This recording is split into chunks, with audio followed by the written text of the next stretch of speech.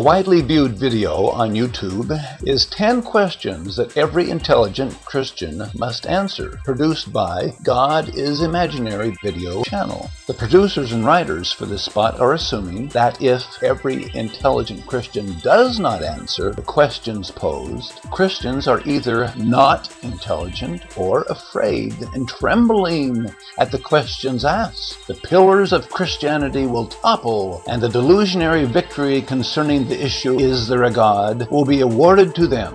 I will amuse myself in giving a retort to this feeble produced and poorly scripted video. After quickly addressing the pedantic queries in return, I will pose a question of my own, which no doubt I will bring this particular group of atheistic opponents to their knees in quaking repentance. Question number one Why won't God heal amputees? God is not a God of amusement. As a witness of Jesus Christ, I know he has, while on earth, healed and restored sight to the blind, given strength to the limbs of those who once did not walk, brought back to life those who had died, and gave courage and love to the disabled and limbless to see beauty in life and to accomplish great things in spite of their handicaps. Individuals can have joy and happiness in adversity. Having a whole body does not make one happy, just as having wealth does not give one joy. An individual cannot become a believer because he sees a limb grow again on an amputee. I have gone through successful neurosurgery, even though it did not take away all my grand mal seizures. The surgery reduced them. I still have lupus. Do these issues make me doubt Christ's ability to heal me? No, they do not. I know He still loves me. My faith in God is not built upon the healings. It is built upon a foundation, something skeptics will never understand. Question 2. Why are there so many starving people in the world?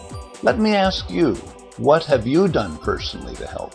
I know of many people of good character, even atheist groups, who have helped alleviate hunger and want. Again, I ask, have you personally, have you been so charitable?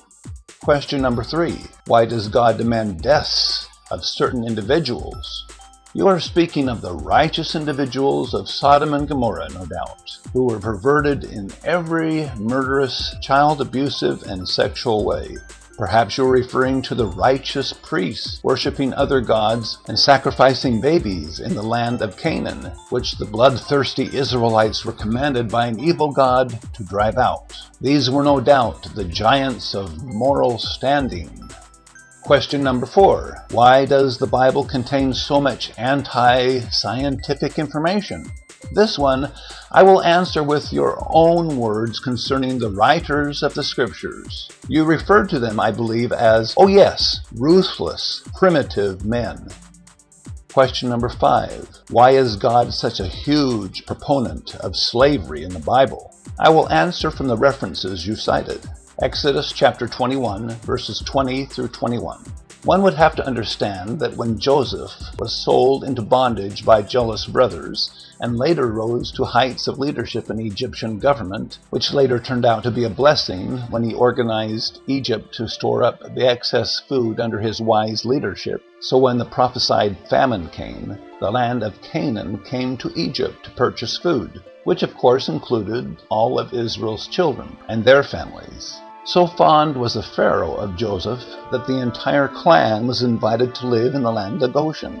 After Joseph died, a new Pharaoh came into power. Fearing the Israelites, who were then more numerous than the Egyptians, the Israelites were put into bondage and worked under servitude. This oppression lasted 430 years, at which time Moses led the Israelites out of Egypt. The Israelites were so accustomed to slavery that when in the land of Canaan, many sold themselves out for hire in trade for room and board. The law which the Lord gave to Moses concerning the manservant or the hired servant was this quote, If a owner or employer smite his servant or employee or maid with a rod, and he, the hired servant, die under his, the employer's, hand, he, the employer, shall surely be put to death. End of quote. Since jobs were scarce back then, I'm sure that many hired themselves out as servants. This is different than slavery. This is exactly the situation in the early industrial era of the United States, of which God had nothing to do with, and I believe neither did Moses, but only the hard handed employer. I even believe that is where the child labor laws came into existence, into our barbaric caveman country's beginning.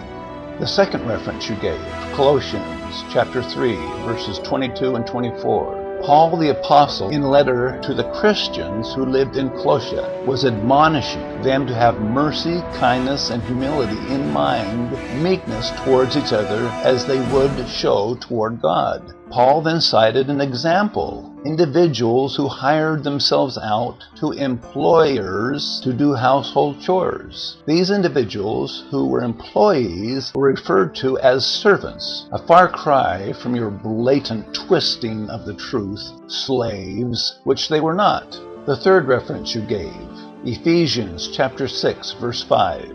Study your cultural history, please. The fourth reference, 1 Peter chapter 2, verse 18.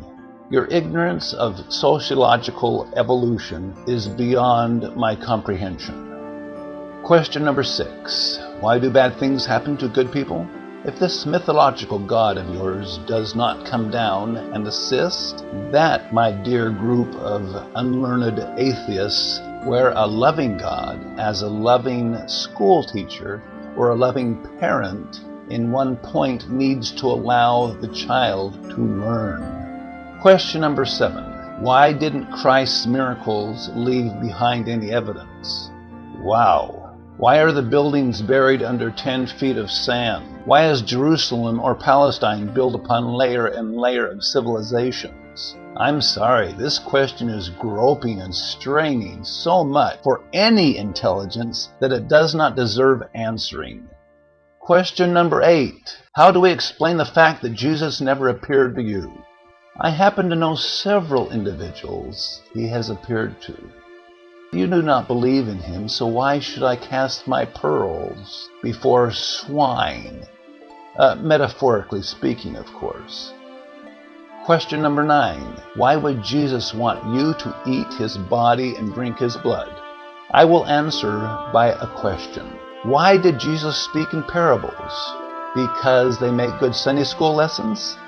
Or perhaps it was because he wanted to hide the sacred teachings of the kingdom of God from the stubborn and disbelieving, not unlike yourselves.